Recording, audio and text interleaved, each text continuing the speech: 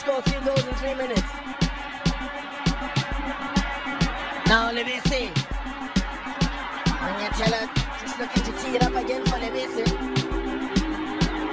Kapamba. Now Nunes. Now Songarangelo. Shayuan on the left hand side. Good looking for the outside.